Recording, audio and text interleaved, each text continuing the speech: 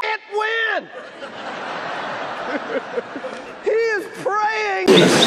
Mr. Magnum was the rocket strike on Kiev a deliberate provocation to G7. Don't will you just down a bit and stay What a bunch of fucking bullshit.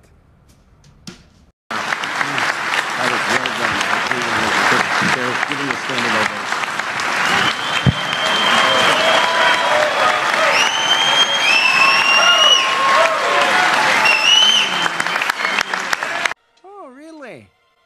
You in what army?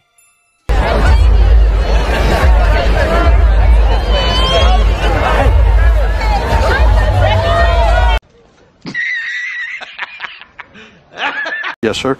Down the ramp. And we have people lined up on the left over here. Uh, some union leaders and workers. Hey, workers. guys and ladies.